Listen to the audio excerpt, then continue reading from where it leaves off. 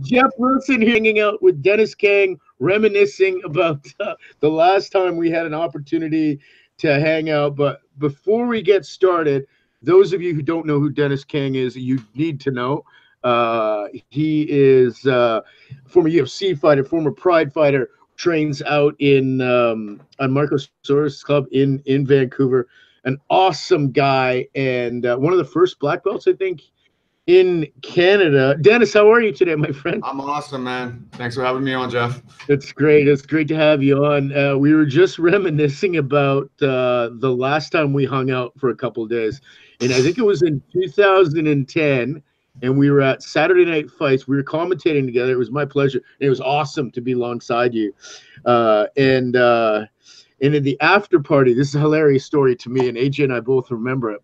We were uh, sitting at the after party um, just a, after the fights, and we're all sitting there, and all of a sudden, uh, it's near the end of the night, and uh, and we're all getting ready to go, and all of a sudden, this thing hits us in the face, and we don't know what's going on. Like what? and they were like, "Oh, we're pepper sprayed." AJ and I run into the back, and we're getting guided by security guys. You're kind of in the periphery, and I look over, and all of a sudden HR are back there, back goes, "Oh man, how bad did you get hit?" He's like this and that. They go, "Where's Denis? Where's Denis?" We're looking out for you. We look outside. You're standing guard at the it, it wasn't closet. that bad. It wasn't that bad. I think pepper spray from being That's the thing. And you, there's nothing going on with you, man. You're not. Your eyes are wide open, like you're in the. And I'm going, AJ, look at Denis. They go, and we're walking out after, and I go Denis, what, dude? Doesn't didn't it bother you? And you're like, you know how many times I've been pepper sprayed, man? That doesn't bother me. the joys of being a bouncer, getting spat on, getting pepper sprayed. You beat someone up every now and then. That's about it. Uh, yeah, it's it's all it's a, it's a glorious life, isn't it? Oh yeah, yeah. Uh, listen, I, I, just it was fun to reminisce. I was glad we could share that. But it was uh, fun. You, you had a really cool career, and you did some really awesome stuff aside, even outside of fighting. Uh, I want to talk a little bit about your time on. Uh, were you in Dancing with the Stars? Correct. Yeah. yeah. let's talk a little bit about that. 2012, yeah. 2012, oh, right after that. Okay, yeah, yeah, because we're trying to figure out where you were. You're like, oh, you're back in Korea, and here's the dancing, dancing star. no big deal.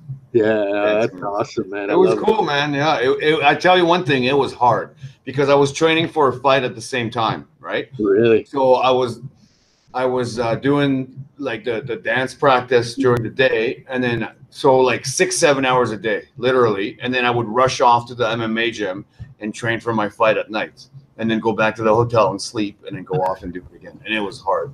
Yeah, and then you got to remember this is on national television, so it's different than fighting on like at like a stadium in Korea. You know, this is like on sin like big big TV channel in Korea. So I was very nervous. Yeah, and you're really controlled too. Your time isn't your own, really, right? No, no, you gotta get. Yeah. I mean, you, gotta remember, like dancing is totally different. Yeah, it's very controlled. You have to count the beats of the music, right? You have to remember your steps, this whole choreography, all these complex moves, and Oh my god, it was hard, and yeah, it was hard. it was as hard. long as uh, it, the one thing I'm happy about is that I was not the first one to get eliminated. That's the I just told myself like I don't care how I do, I just don't want to be the first one to get kicked off the show, and I wasn't. Thank God, I was the second one. But hey, it's, it's better. It's better than being first, right? Absolutely, and uh, yeah, I, I, think you've always had great footwork, but it probably actually helped eventually, right? In, in yeah, it did. It did. It was fun. They gave me a lot of lifts, like lifting up the, the, the girl around. You know, yeah. I, it gave me a whole newfound respect for dancers because these people yeah. are fit and they work hard. It is hard work, and they're really good at what they do. It's amazing. Yeah. Yeah, it's it's awesome. It's awesome to hear that, and, uh, and I'm glad. You and you know what? While for that fight, because of that dancing training, my legs got really lean and strong because it's yeah. just all the all the footwork you're doing, right? Yeah, yeah, that's that's awesome. Uh, and yeah, when you think about like you can think about five to six hours, but when you do it, oh, it's tough, ridiculous. It's yeah, tough. like you, it's tough. you were standing you're on listening. We, we, we like every every new dance or choreography or episode was to one song. So you're listening to that same song over and over and over. Oh my god. Um, Yeah. I'm, I'm, lo- you know what? Let's segue into this before we get into the choreography and and little baby Denis Kang and, and your whole story. Music seems to have a really important part in uh, in state management in mixed martial arts. Everybody has a walkout song usually Sure. that Yeah. they come out to, and uh, you have the opportunity to use music in a different way as well as that. And I'm pretty sure that you wouldn't be able to walk out to the same songs you're on the Dancing with the Stars show with.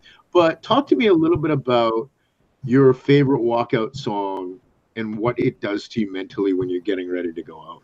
Well, I, I mean, every fighter will tell you one of the the most exciting and and uh, and memorable parts of fighting is the walkout, right? Getting ready, the the pre-fight jitters, you know, everything. It's like the the peak, the culmination of all that training. You're just about to walk out. Everything's ready. You know, they call your name out. Everybody's cheering for you, and that music is a big part of it.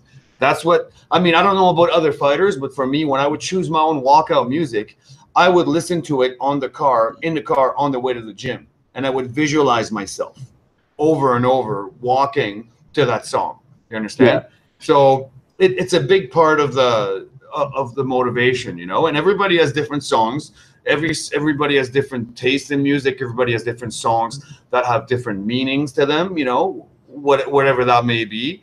Uh, for me, it needed to be something intense that got me, you know, focused. Uh, either rap music or sometimes heavy metal. Uh, I used some Prodigy before, kind of like techno-ish. And uh, at the end, I had uh, I had a customized song made for me by a rock group in Korea called Go Super Korean, which was awesome. I used that in Pride and stuff. It was great. Yeah, that's your the, you had your own song and that's your Yeah. nickname, Super Korean. Yeah, yeah. Oh, cool. Uh, well, uh, yeah, I'll have to link to it on the show so we can hear it because I don't know if I've heard it. So that's awesome. Um, yeah, it's funny because uh, what I love about the anchoring process that you do when you fight and with music and when you're going to the gym is whenever you accidentally hear that song. Oh, it brings you right back. Yeah, I, I always tell everybody, "Hey, I walked out to this song and this," and nobody cares. They're like, "Yeah, okay, another fight story from Denis." But to me, it means a lot, you know. Yeah, and you get into the state. This state. I remember when I went to. I don't know if you were uh, in town when the BC Lions had Empire Stadium, and they made it like a high school football stadium. Okay. And uh, my friend Poncho and I played football uh, in the same league uh, together back in the day. He said, "Have you been to the stadium, man?" I said, "No." And he said, "Dude, you got to go." And I go, "Why?" He says, "Oh, it's it's like football. Be back in high school." And you're like, "Really? Why?" And you walk through the tunnel as a fan. So you can imagine like Super Bowl Sunday today. Yeah. You walk through the tunnel. You you just naturally you don't know. You just get the shivers again. You're like, what? Am, oh, this is like I'm going to play. You know. Yeah. So it's an amazing experience, and I love it. Thank you for sharing that. No problem, And uh, but but man, we we we we've been friends for a while now. But let's talk about you know, baby Denis Kang and who your parents are and how you started this journey into mixed martial arts. I was cloned in a laboratory, bred to be a fighter and a secret I agent from the beginning. I wish. Uh, my, my, my father is Korean. My mother's French. Uh, my father worked on a commercial fishing boat and met my mother. Uh, she's from the very small French island called Saint Pierre and Miquelon. It's the two islands off the east coast of Canada, right? It's very close to Newfoundland. It's not Canadian at all. It's a French colony. So I have dual citizenship, right? It's if you go there, you have to use the euro. Uh, you know, it's people speak French. French is the French government, French Wow. municipality, blah blah blah. It's like Hawaii, you know, or Guam. It's American, but it's way out in the ocean, right? It's Okay. French, but it's in Canada. A lot of people don't know about it, but yeah, it's there. So I grew up. I was born there. Uh, when I was nine years old, we moved to uh, the Canary Islands, so Spain. We lived there for one year, and then we moved to Vancouver when I was about 11 years old, 10, 11 years old, and then grew up here. Yeah, Uh, went to high school here and stuff. Yeah. Yeah. So how does the relationship between you and Marco Soares start? Because, but wait, before we get to that, like there was no UFC, there was no Brazilian Jiu Jitsu. You started doing Hapkido or No, no, no. I, I, I first saw UFC. I was walking home from the from school, and I would always stop by this videotape store we used to have these things called videotape store for all you millennials. And I would check out if there was any new movies, and I saw this thing called Ultimate Fighting Championship. I'm like, this can't be real. And then, it, oh, it's awesome. But the video was out. Remember, right? If somebody had taken it before you, you couldn't Yeah. get it. Yeah, Right? I So I it. came back over like three days, three, four days. Like it was always out. Finally, it was in. I reserved it and I, I begged my mom, can I have some money to go rent the movie? So she she she so she gave me some money and I rented it. And it was um, I the, my first thought was this is just like Bloodsport. This Yeah, is just like Street Fighter, you know, style versus style, like the greatest thing I've ever seen ever. UFC 2, right? I love the, the brutality, the whole mystery, like you didn't know what was gonna happen, you know, like because I always thought that. I was always a fan of martial arts. I started martial arts when I was nine, and I always wondered, like, what's the strongest martial art? Is it kung fu versus ninjutsu versus karate versus boxing, this and this, you know? Everybody wondered that if you were in martial arts, right? So I loved it, and I didn't want to train in it first because I was only 17. I was kind of scared. Remember, back then, UFC one, two, three, like the first like dozen UFCs, it was all like grandmasters, like 30 and up. There was no young guys.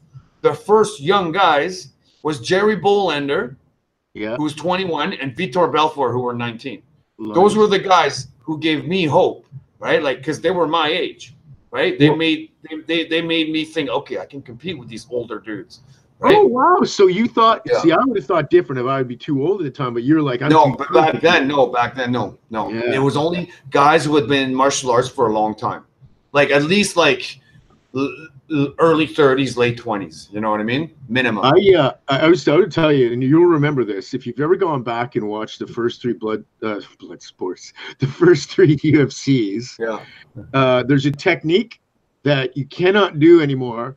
That you and you almost destroyed uh, the UFC as a sport, and it wasn't any of the Gracie guys, it wasn't any talented dudes. It was the big muscle heads that would get would bull rush a dude, get full mount, grab both hands, oh yeah yeah yeah and headbutt.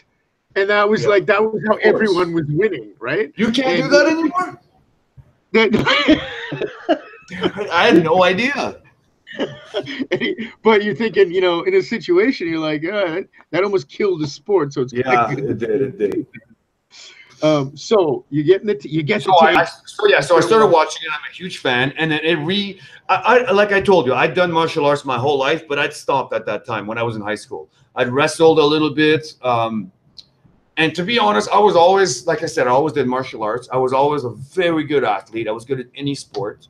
Uh, I guess you could say I was like a star athlete in grade eight and nine, like 13, 14. And then I kind of fell off. Um, uh, my mom was by herself with us. I started hanging out with a bad group of kids. Uh, and I always, always had remorse inside of me for having stopped sports because I saw a little bit of disappointment in my coach's eyes, you know, because I was on the team and then I wasn't. And one day he caught me smoking, and I was like, oh my God. He, he goes, Denis, what are you doing? I, I crushed a cigarette in my hand, burnt a hole in my hand, like, nothing, sir, nothing.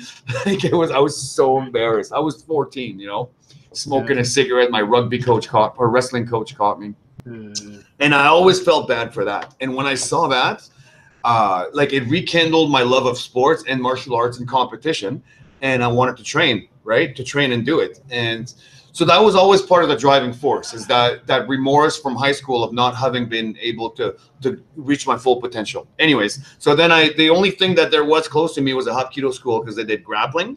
Yeah. Which was the closest thing to BJJ. So I joined that. I trained there. They were a great group of guys, Wolves Hapkido uh, you know, I still respect them to this day. Very good school. And then uh, uh, I heard of Marcus Soares coming to town, moving from Brazil. First, it was a little too expensive for me, but then I said, you know what? Fuck it. Uh, I'm going to do it. And uh, I joined up with him. And, and then that's it, man. That was June 1st, 97. I joined up with Marcus. Yep. yeah, and uh, and your career started really to to to go from there. You had some man. You were fighting pretty early too, right? Like what Yeah. what belt were you? Like how was Uh, your first fight Well, I had my first fight in 98. I was a blue belt. in in Pride or in No, no, no. And, and, and my first MMA fight. was that here? Yeah, in Vancouver. Yeah, it was an underground fight. So talk to me about those days, man. I remember sitting with you at lunch uh, the day before Saturday Night Fights and looking at your hands, and I was like, You mean this one? yeah, like all yeah, like surgery scarred up Yeah.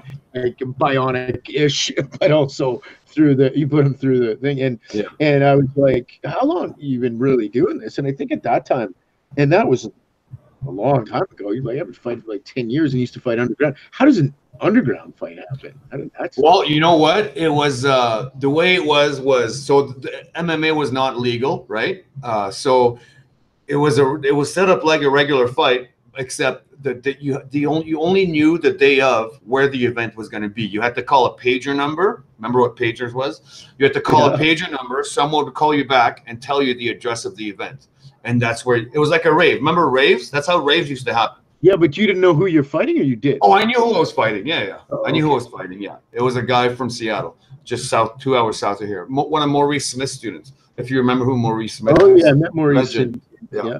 yeah. So, uh, and then it was in a warehouse in East Richmond, which is a part of Vancouver. And like I said, underground location. Um, there was about 500 people in attendance, and the police kept knocking on the door. And the, the promoter kept on coming in our dressing room and saying, "All right, guys, the police are here. If they ask you anything, we're just filming a movie."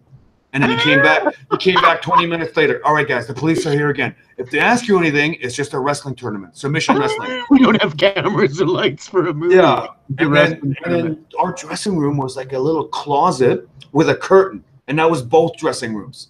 And I, re- I, I remember seeing the guy who fought before me just puking in the corner, just and because he fought and he lost. It was bad, man. And, I was like, oh my god, what am I like? I didn't want to do that. I go, ah, I can't believe I'm doing this. I hope the police shut this down. Oh, the cops are here. Good, good. I don't want to do this. I don't want to do this. I, I, I hope there's an earthquake and everything's canceled, like a meteorite hits the roof or something. You know. And how's Yeah. that first fight go? Oh, I won, man, in like 15 seconds. Oh, it was great. Yeah. And then everything changes. You're like, I'm Yeah. gonna do this. I, ha- I have it on video somewhere. I can send it to you. Uh, oh yeah, on Messenger later if you want. I got to find it. Yeah. yeah, yeah. I would love that. So that's your first forte into MMA. Great beginning. Yeah. And then how do the how does the call start happening to for for Japan? How many more fights you go? Well, What's I had, I had a couple more fights. Uh, see, back then I didn't know anything about being a professional athlete or training for fights. Nobody told me anything. Yeah. Absolutely starting from beyond zero, like minus 25. I didn't even know what a manager or agent was. Like Yeah. my John Alessio, he fought Pat Miletich in UFC. Do you remember him? yeah, yeah, oh yeah. Yeah, he's from Victoria. So anyway, so him and I linked up, and we decided to go to this event in Colorado called Bas Rutten Invitational, and we had to pay our own airfare, pay all this, this. I didn't know that you got paid to. to they played your airfare. I didn't know you were supposed to get your shit paid for you. Like, wow. anyway, so we, we we went and fought. I won my first fight, lost my second fight, but the referee was this guy named John Perretti. You remember who that is? Yes. He was the matchmaker for the first UFCs, right? And he made extreme fighting. And he, I go, how can I get more fights? He goes, he gave me the phone number for this lady named Phyllis Lee. R.I.P. She she died a couple years ago, but she was this older lady. About she looked like a grandma, like. A, 75, you can Google her. She was like, she was an ex-pro wrestler in the 80s and 70s really? and by that time she was in her 60s walked with two canes but she knew the business remember pro wrestling and mma were very very intricately linked somehow yeah. you know because they were it was just show fighting right it was some some kind of showbiz so she had connections in Japan and she had an exclusive booking agreement with Pancrase in Japan. So she said, Ah. all right, kiddo, you send me your material, your pictures, topless pictures, uh, video highlight. And I'm like, oh, it's kind of weird, but whatever. And but she was super nice, man. She uh, Phyllis Lee, man. She managed Nate Marquardt. She was managing uh, uh, Shonie Carter. All these guys, man. She Oh, made a lot of guys' career. Like she, she, she managed Dan Severn. Remember him? yeah. Yeah, she. You can see her in a, in a couple of UFCs when Dan Severn walks out. A lady with glasses with the chains. Like that's how old she is. She had chain glasses. Oh, You know, like a granny. Can't Yeah, get my yeah, yeah. glasses. Anyways, uh, so yeah, so she got me the call to go fight in Japan, and I fought Minoru Suzuki, who is like one of the founders of Pancrase, the god of Pancrase, my hero, and I'm fighting him. And I'm like, I know I'm I'm, I'm being brought over there to lose. I'm Yeah. over there in my little red speedos. The fight is online on YouTube, and I beat him. I knocked him out or TKO'd him, and it was great. oh my god, I was 22 years old fighting in Japan with Marcus, just a dumb young kid, like looking around all all wide eyed. You know, it was amazing. Yeah. Wow, that's crazy. And then you go on this this crazy tear, and we I remember we were watching uh, you on Pride and, and that 16 win streak, man. Mm-hmm. You were just it was like you were fighting all the time and yeah. always winning. There was one year where I fought seven times. I was six and one that year. Yeah. 2004 yeah. or three. the highest level competition. Like that first yeah. win must have been amazing to yeah. to go through and do that. And then and then as you start to continue to go through and you're rolling, everything good's happening. Then there's some things that you know as it happens in almost everybody's life or everybody's sort of journey and whatever they're doing comes obstacles, whether they be personal challenges or a torn bicep, right? Yeah, yeah. so how does that? How do obstacles in your way to your your success? Uh, how do they how do they get there? And then how do you Man, it, it happens. You just deal with it, man. You got no choice than to deal with it. You know what I mean? You pull through. Like people persevere. You yeah. know, the torn biceps sucked, but I mean, I, I moved on, and, and you know, I had fights after that. Yeah, and it was fun, you know. And then I ended up tearing my other bicep a couple years later. That's crazy. I, I but I'm still, I still got the guns, baby. Don't worry. that's awesome. Uh, that's crazy. Jesse Bongfeldt uh, I interviewed last year. Oh yeah, at a Canoria, and he had he tore his one bicep, and a year to the day he tore his other bicep. Yeah. That's, that's right. crazy. What? How did you do it? Just I want to see the first one. Well, both of them was throwing hooks. So the first one I tore it in pride, exactly how the right hook to the body, and then yeah. the left one I was throwing a left hook to the liver. But but the right one I never had it reattached, so it's still I have a hole on my bicep. It looks like. The left one, it tore off completely, and I had to have it surgically reattached. Wow. Montreal. Yeah. This was inspiring the left one, and it was bad. Like it felt like an elastic snapping and then just rolling up the bicep. So they literally had to cut my bicep open, reach inside with pincers, and then pull the bicep back down, screw it in to the bottom, latch it down like a tent pole. it's a good analogy, right? that is, yeah. No, I, I got to learn by analogies because I, I start blacking out when I start hearing. Oh, really? Surgery? No, no. I, I just had a hip surgery last year, just so you know. I got a titanium hip. You got your hip replaced? Yeah, full oh, full wow. replaced, man. Man, I, I, I was almost in a wheelchair. No, sorry, not last year. The year before, June. The yeah. super Korean's almost bionic now, hey? Because oh the new God. hip's great, isn't it? Yeah, I've had four, five, six, seven, eight surgeries total. Wow. Yeah. And you're still kicking and throwing down and hitting the bag when no one else is oh, in as soon as well before the surgery, I, the hip surgery, I was almost in a wheelchair or crutches, man. It was so bad. Like I would always say, if there was a tiger chasing me, even on adrenaline, I wouldn't be able to run. Like yeah, possible. I could only stand for maybe like two minutes, and then I had to sit down. And now that I have I had the hip done, um, I could fight again if I wanted to. It's amazing. Yeah, yeah, yeah. I had a friend who had that done as well, and and everybody advises me if you ever are, especially for strong, strong kickers, yeah, you're, you're always gonna have a little bit worse hips, right? Just yeah, because it's because of the way you stand too. You always put more emphasis on one hip, mm-hmm. right? Yeah, but. uh but I didn't realize how they did that surgery. I didn't realize they took your whole leg off and put it right back oh on. Oh my god! Have you seen it on YouTube? They literally slice you open, take your femur out. It's like remember having GI Joes or Masters of the Universe a kid, the legs. Yes, it's, it's the hip and socket, right? It's the bowl uh, where the, the leg goes in. So they take it out, saw off the head of the femur, and then put a. It's like a mushroom cap made of titanium, and then but like, let's say this is the femur, so they stick the mushroom head on, and they gotta hammer it in. So they're sitting there, bang, like hammering a, a nail, a, a, rail spike on a train track. You know what I mean? Go watch yeah. it on YouTube. You'll probably. No, I'm not going to. Once again, I just told you how much I hate talking about this, and you love talking about it. I'm like, imagine, imagine this is the, this is my femur. They stick it in, and they gotta hammer it. Boom, boom. There you go if you have ketchup there, I'm gonna pass out and you're gonna finish. kidding, man. That's awesome. Uh, good to see, man. And and so, do you still get that? I don't know if you ever formally retired. Guys like you never. I did. Well, I, I did. I mean, I never announced. I don't. Yeah. I don't believe in announcing it. I don't care. But yeah. I just no. I I I do. I don't get the itch to, to train for a fight. Yeah, Right? It's kind of I don't know. So not really. I don't know. But it's just really- passing it on now, and, and now you're you're you're you're at, you've always been Marcus's guy and working with the the guys in North Vancouver, but then other opportunities start coming up, right? Uh, yeah. Like what do you Yeah, mean? like Dancing with the Stars. Oh yeah, yeah. That that was yeah, yeah, yeah. That was that was in 2012.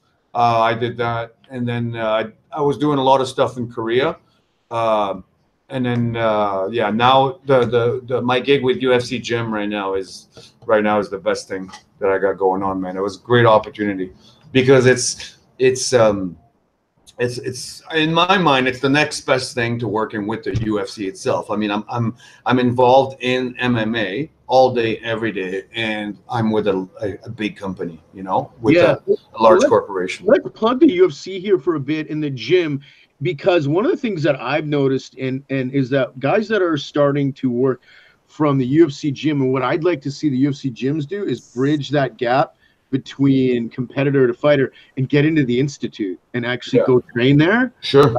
because if you guys can do that there man that is the one huge Yeah. selling No, we can we can do that. We can do that. I still have a strong relationship with the UFC, with with Dana and Sean Shelby. You know, my dream is still to have to make get a guy all the way to the UFC if possible. You know, so. oh yeah well I mean you got guys there and BJ was just uh, hanging out with you BJ was just here, man. Yeah. How- was that uh, Oh, it was out amazing. It was amazing. Such a cool guy. I mean, I, him and I, you know, we know each other from way back, just from from the fighting circuit. But it was just he's such a good, humble guy, and everybody loved having him here. We he showed an awesome seminar, and you know, it, it was great.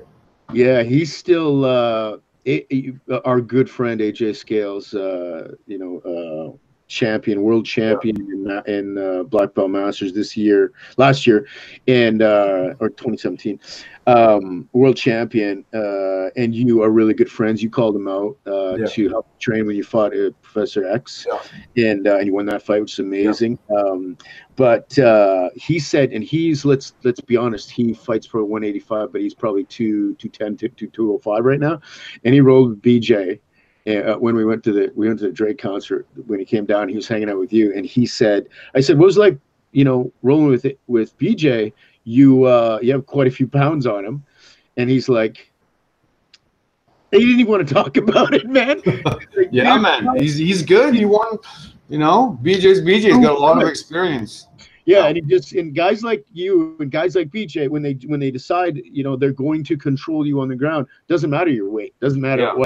What's going on you're Yeah. you're done so Yeah. that's cool that you guys have the opportunity uh, to work together there and I know I talked to um, one of the guys over at the UFC gym so I'm glad that that's happening right now but let me talk uh, a little bit about uh, supplementation and then um, pre-fight post-fight meals like now that you've gone through not even having a manager to not even knowing how to train to building a system that know that you know works you know um, talk to me a little bit about that like when, when you're getting new guys in and you now have the gift of the wisdom that you have and you're now putting them through the training which is the most important part Mm-hmm. and then do you, do you talk to them about diet and supplementation now Um, a little bit. You know what? It, there's so much information out there right now. Most guys already know quite a bit. It's rare that you have a guy who who who, who doesn't know. Like it's so easy to do your research themselves, your the research yourself. You know, or just on diet, and you go on forums, and everybody watches Ultimate Fighter, blah blah blah. You get a lot of of, of information just from that. You know. Yeah, um, I know for a fact that that, and it's it's usually individualized to the person, right? You almost Yeah. have to. A lot, well, there's a lot of new supplements, but a lot of people now are eating more organic. Uh, nobody cared about that back in the day. You know what I mean? Yeah. Uh, a lot of people eat organic. A lot of vegetarians now. Uh, you know, a lot of people eating paleo or whatever, however you want to call it. You know, a lot of people doing intermittent fasting, right? Yeah. There's all, there's all these fads, and you got to find the right one for you. You know, Yeah. they all work, right? They Yeah. all they all work if you do it consistently and tweak to your, you know, to your body type. Yeah, it's almost like a, it now. You have all this information. People are like, oh no, the the fastest way to get anywhere is a straight line. You're like, you know what? Sure, all humans are 99% same genetically, Yeah. but that one percent, there's probably about 10 variables that affect Yeah, who that's you right. are. you are, and so right. you got to experiment with those in order to to get that done. Um, what about fights and and carb loading, anything like that? Like, I mean, dieting's always this. What about what? Sorry. I was thinking about. So uh, I'll always carb load before I know that I have to. Uh, Oh yeah. of energy and that type of thing. But um, through the process of dieting, you can't really carb load, right? Yeah, well, you got to remember, like, because we, we gotta we got we, we gotta cut weight, right? So it's almost like a modified carb loading because you're depleting yourself to make that weight. Once you make the weight, you're replenishing yourself as much as possible. So it's a type of loading. Uh, You know, you're eating carbs and and getting a lot of water. The one thing I would do different is the way I used to do it is I would make the weight, and then after my my my pre-fight meal, like the night the night of the weigh-ins, the night before the fight, I would always have pizza and pasta. I wouldn't do that anymore. I would be a lot healthier. You know, I would stick to like maybe just more sweet potatoes and greens, things that are a lot more alkaline for the body. Knowing Yeah. what I don't know, but back Yeah. then I didn't really know about anything any other way. You know. Yeah, So- that would incre- that would allow your digestive system not to overexert itself. So you gotta- Exactly, exactly. And I, I don't think it was that bad, but it just could have been better. Yeah, right? yeah. And I, yeah, because I would put on quite a bit of weight and I would feel heavy, you know. Yeah. So Yeah. Uh, Okay, cool. I, I- I mean, I know you're busy here. I know you got to get going, and I appreciate you taking the time. But I want to ask two questions, and they're kind of both Okay. out way out here. Uh, the first one is um, is going to be what's the greatest lesson um, you learned from your family um, when you look back at it that's guided you through um, you know times in your life when you needed guidance. one thing uh, I remember my father teaching me or telling me is to always work hard and always put in a little extra. Now he didn't tell me this in terms of, of training for sports, but he was he was telling me this like he said when you're working when you have a job always stay do a little bit extra. Always work hard. You know that that asian hard work mentality go a little over what's expected of you you know? And i always i always put that towards my training in in mma you know? Always do a little bit extra than the next guy just because that's that's what's going to separate you from the rest you know? Yeah. And what would that? Um, I love it. Thank you for sharing that. What would that? Do, what would that show itself up as? Like another fifteen minutes? Because man, I remember being down. just do extra drills you know what i mean like but like for example you have a lot of everybody shows up to spar at the same time right we spar we do five rounds blah blah blah and then everybody's done they they chill they talk it's a good boys boys club you know uh-uh i'm i'm sitting there i do extra drills Yeah. you know what i mean rep, rep technique out I right also, I also remember being uh, was it t- t- uh, at the Muay Thai gym in Vancouver downstairs in the basement? Was it church basement? I can't remember. no no no it was it was a muay thai gym basement yeah Yeah, yeah. It me, you, Bill Mahood, I think Jimmy was there, and a bunch of other guys. And uh, your workouts aren't easy, man. I mean, your warm ups. Yeah. I was tired after the warm up. I was like, oh man, and you Yeah. just got this look in your eye, like we haven't even started, and I'm like drinking water. yeah back back then man that, that little dungeon that's what i called it Yeah, I killed it, man. Like we were training hard, no windows. Everybody was just sweating, man. It was a warriors warriors cave in there. Yeah. It was. Uh, it, I mean, I, I was in awe seeing everybody that was down there, and Yeah. and uh, it was great to be there. Um, but here's another thing: like you have the the the what's the gift of oversight now, having an incredible career yourself and being a gifted athlete, and then having opportunities outside, sort of like Din Thomas doing his acting. You're on TV Right. in Korea and in the Super Korean, which is amazing. So you have really cool things, but. Looking back now, aside from changing your your pre-fight meal, what would be three of the things, like three things that you would tell up and coming guys that want to get to the UFC? Three things that you wish you knew when you first came out, or two things, or five things, whatever. It was probably a list of a hundred, right? Yeah. Um I mean, I guess it depends on who you're talking to, too. no, I, I know, I know, but but still, if they're for young guys, young guys fighting and competing, um, one thing that I realized, I've coached, I've cornered people from the lowest level all the way up to a UFC title fight. I've, I, I cornered uh, Jeff Monson when he fought Tim Sylvia. I cornered guys all the way in UFC, and when I cornered, I helped George fight uh, Jake Shields. I helped Rory against uh, Nate Diaz. One thing I learned is that everybody feels the same thing, the same nerves, no matter your level. You're sitting there at the weigh-ins watching everybody. Is that my opponent? Am I fighting this guy? He looks big. He doesn't look nervous. He looks nervous. This and this. He looks big. His arms look big. You know what I mean?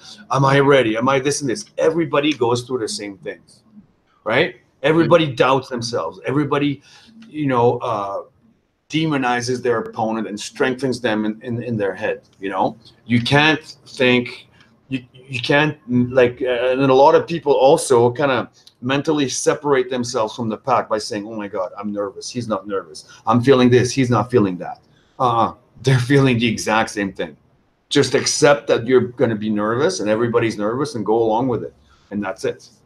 You know, So no matter yeah, realize that yeah, this is th- what you're feeling is what everybody else, everybody feels it, man.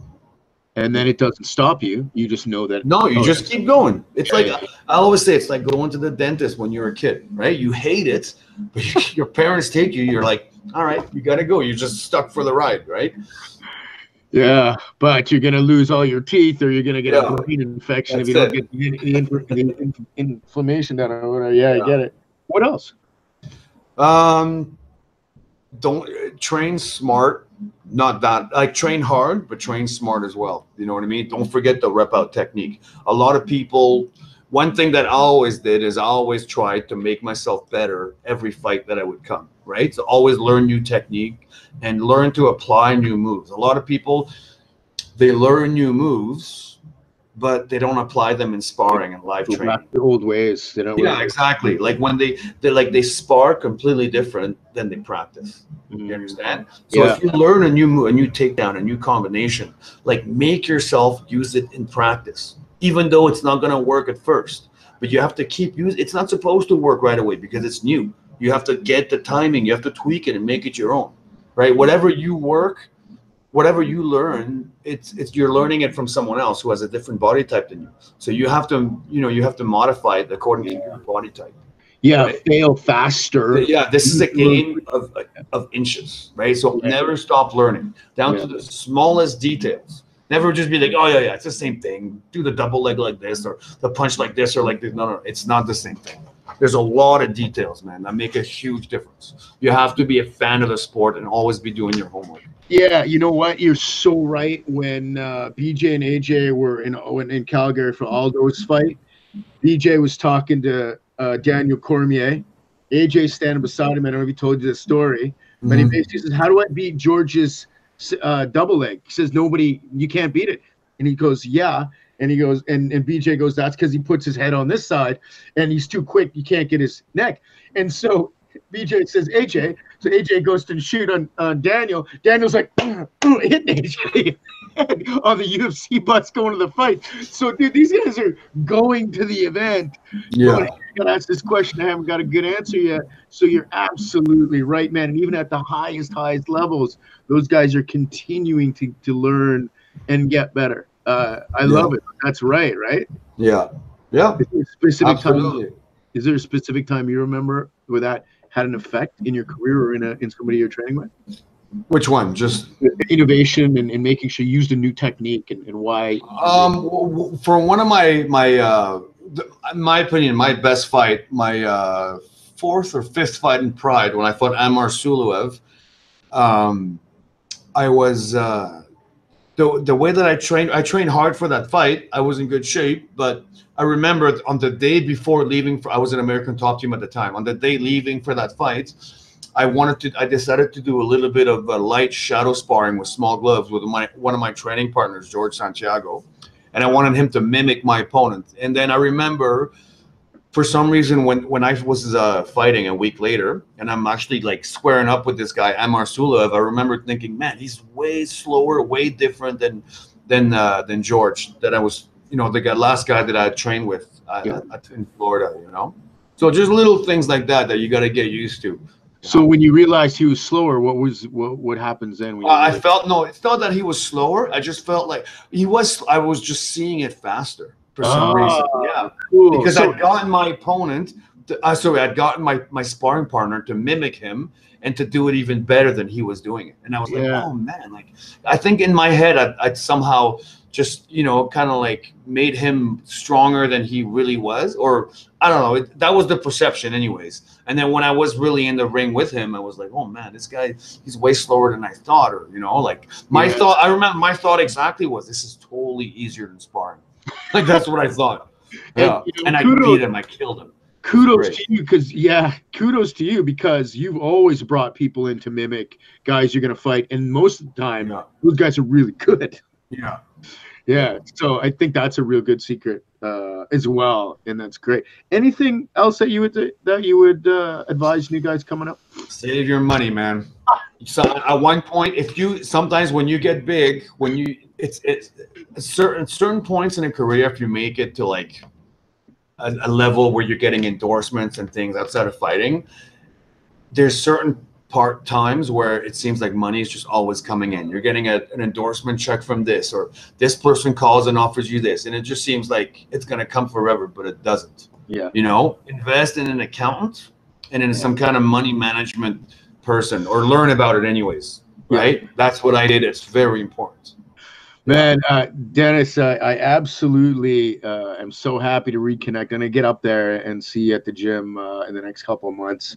And uh, I really appreciate you taking the time. So, what I heard is always be learning, always do something extra, and uh, and and uh, be more uh, f- frugal. Finan- that's right or not, not necessarily Mhm. frugal invest Save something. just mean right be smart Yeah. with your money right Yeah, absolutely. Uh, thank you so much for taking the time, my friend. Uh, we'll send this out to you uh, before. My pleasure. Out, and uh, yeah, we'll go from there. But great to see you, and we'll talk soon. awesome thank you Thank you. jeff Bye for now. yeah